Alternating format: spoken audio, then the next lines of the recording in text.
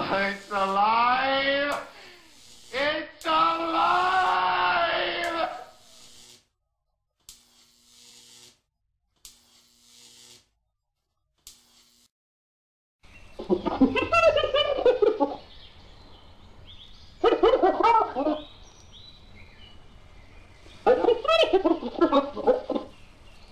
Hello, I'm Artifacts Mars, and here's a mad science update for today.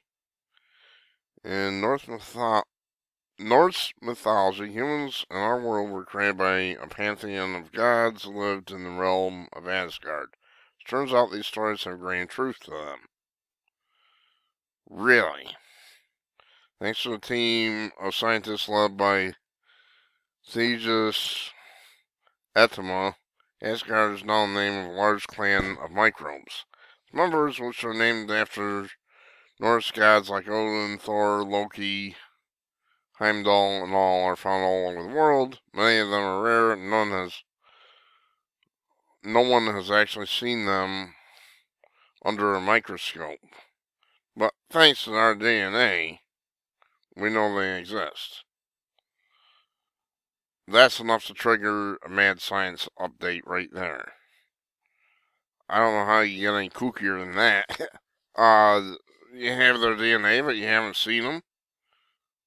Excuse me, that's absurd. We know that they're singularly important to us because they may well have been the group from which we evolved. Oh, brother. If Ettema is right, then around two billion years ago, the Asgardian microbe were an incredibly close or an incredibly close relative took part in a unique event that gave rise to the eukaryotes. That's the group that includes humans, our fellow animals, plants, fungi, and every living thing made from large complex cells. All living things that we're most familiar with, and all ones we can actually see. Our origins lie either in Asgard or next door to it.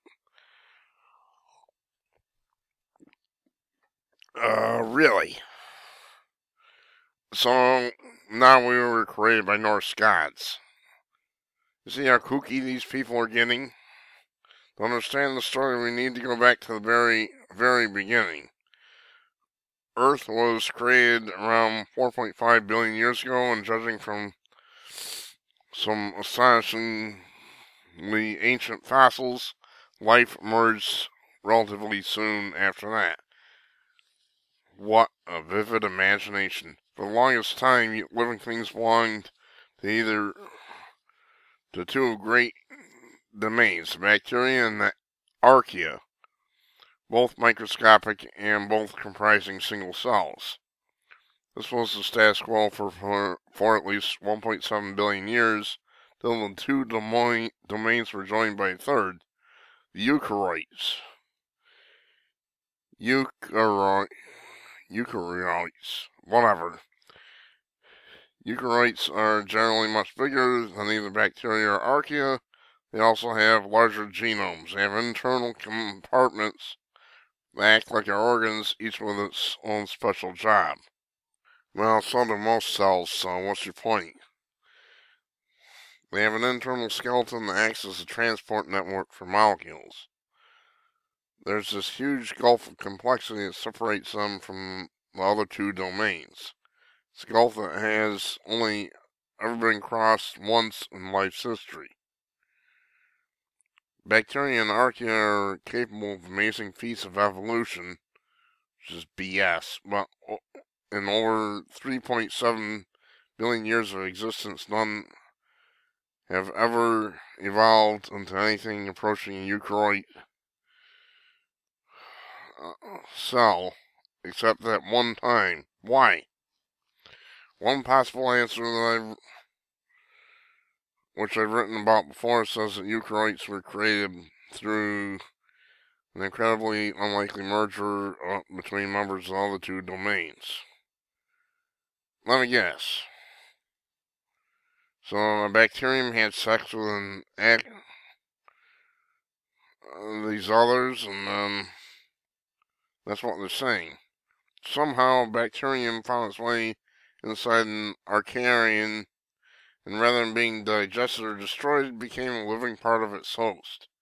In doing so, it provided the Archaean with an extra source of energy, which allowed it to get bigger, accumulate more genes, and evolve down new paths that were previously inaccessible to it. That fusion gave rise to the eukaryotes, and bacterium eventually turned into the mitochondria, little bean-shaped structures that still power the eukaryotes to this day. Well, these people have vivid imaginations. Once the eukaryotes evolved, they repeatedly engulfed microbes and fused with them, process called endosymbiosis. That's much easier to do when the host cell is already big and can engulf small neighbors. The host is an Archaean feat becomes much harder and far more improbable. That's maybe because, maybe why the merger between Archaean and Bacterium, the one that gave rise to the mitochondria, may have spawned the eukaryotes, but happened only once. What on earth are these people talking about? What were these two ancient partners like? We know that the bacterium belonged to a group called Alphaproteobacteria, which includes Wolbachia, a microbe that I've repeatedly written about here, but until recently no one knew anything about the Archean host.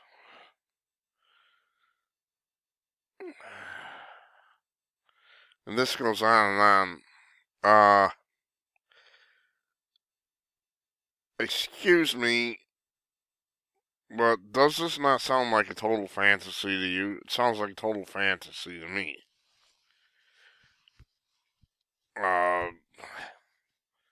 kind of like saying we took a uh, Cadillac and a Volkswagen, merged them together, and came up with a Lexus. Unreal these people reaching. I'm going to give you my take on things, which you probably heard before. I think it's obvious that what's happening in this country, in uh, with what you're calling evolution, isn't evolution at all. Uh, I think it's obvious we have a greater one or more greater intelligences that are continuously upgrading things. Now, there goes artifacts saying something about any proof. Well, I do have proof. Not direct proof, but, uh, we're doing the same thing. We have been selectively breeding things for centuries to get the results we want. We've been we're genetically engineering things, it's not going to be all that long before we uh, start releasing designer creatures out into the wild. Actually, we're doing that with all these designer crops.